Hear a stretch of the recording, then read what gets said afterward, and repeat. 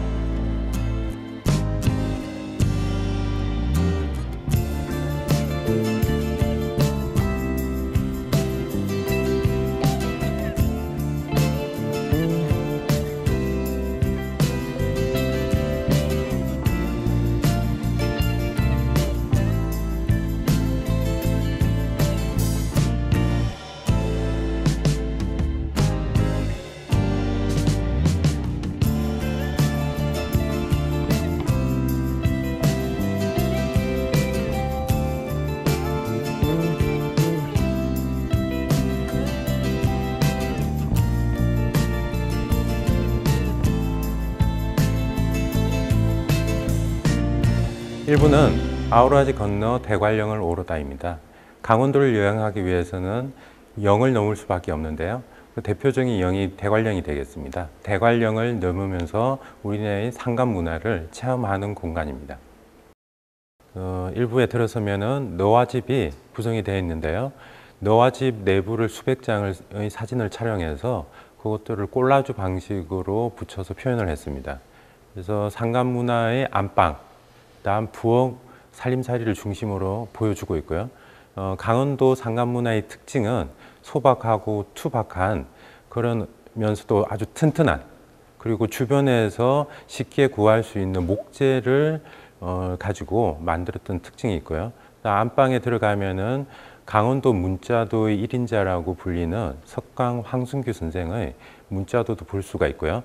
그리고 부엌 살림살이에는 어, 옥수수라든지 감자, 메밀을 활용해서 만들 수 있는 그런 부엌 살림살이들을 볼 수가 있습니다.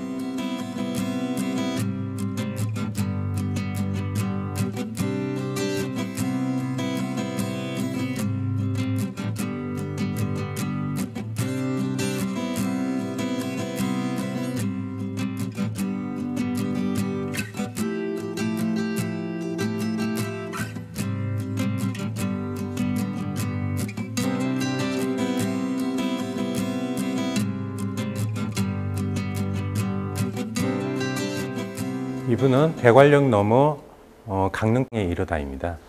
어, 대관령을 넘어서 강릉에 이르면 어, 우리의 대표적인 축제인 강릉 단오제를 볼 수가 있고요. 단오제의 흥겨움과 신명남을 어, 체험할 수 있는 공간입니다. 어, 강릉 단오제는 많은 어, 것들로 구성될 수가 있는데 이 공간에서는 두 가지만 가지고 강릉 단오제의 흥겨움을 표현했는데요. 첫째로는 강릉 단오굿이고 두 번째는 관노 가면각입니다. 이 두 가지를 가지고 강릉 단오제의 전체적인 어떤 상징성을 드러낼 수 있도록 표현을 했고요. 예, 특히 박상화 작가의 영상 작품을 통해서 축제 현장의 그런 생동감을 살리도록 했습니다.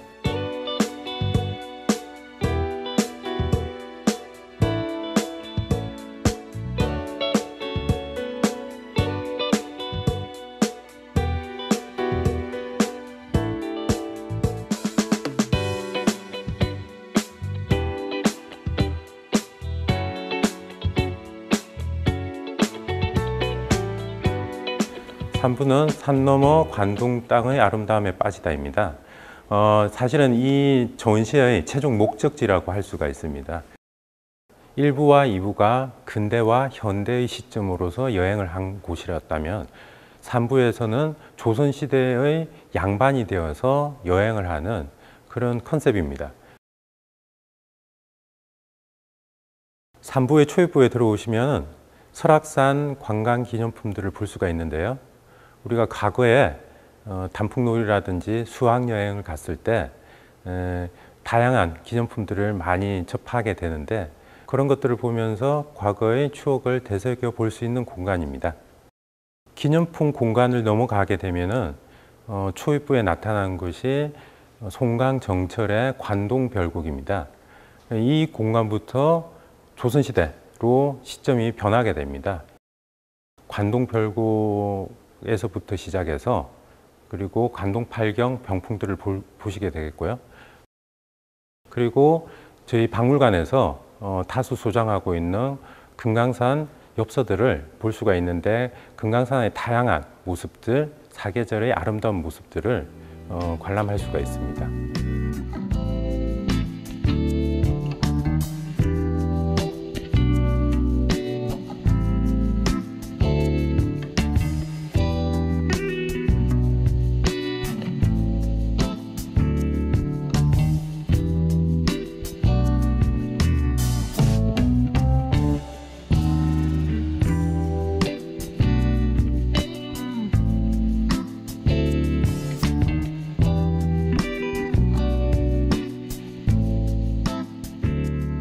그리고 어, 중간에 빈 공간이 있는데 이 공간에서는 금강산과 관동 팔경의 다양한 경치들을 체험할 수 있는 체험 공간입니다.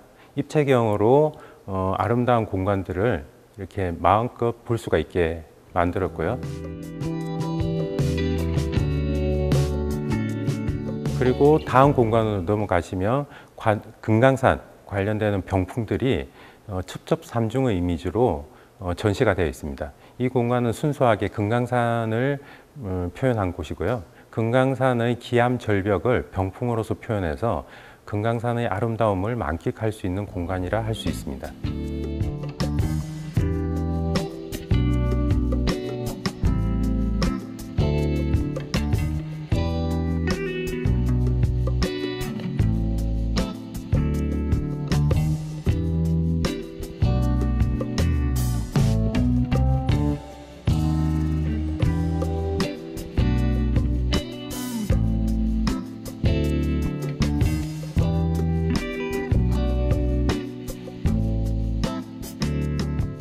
자, 에필로그는 어, 바다 위에 떠오르는 해를 바라보다인데요.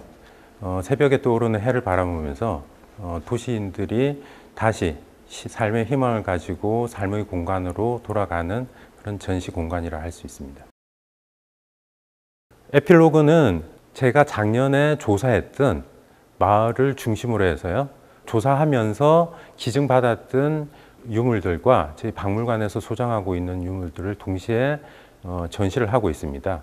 이 공간은 특히 영상 작품을 보면서 좀 쉴 수 있는 어, 자리도 마련했고요.